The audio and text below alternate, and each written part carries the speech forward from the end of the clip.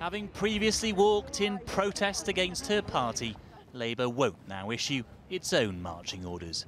But yet again, Luciana Berger speaks to its divisions. We want to see action taken about anti Semitism, and that's why we're all here today.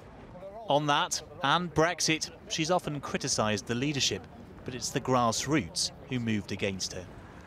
Last night, her local party in Liverpool announced two votes of no confidence, leading dozens of Labour MPs to hit back that she has theirs. She has our support as she battles the bullying hatred from members of her own local party.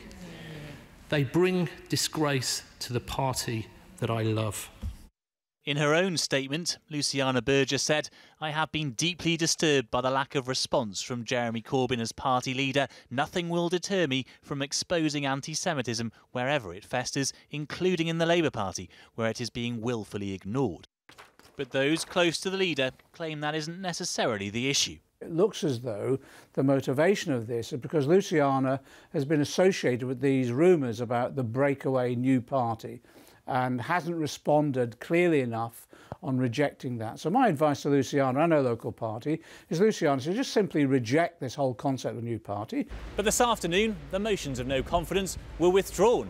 And tonight, the party's deputy leader is calling on Labour headquarters to suspend Liverpool Wavertree branch, arguing its actions are threatening and bring the party into disrepute.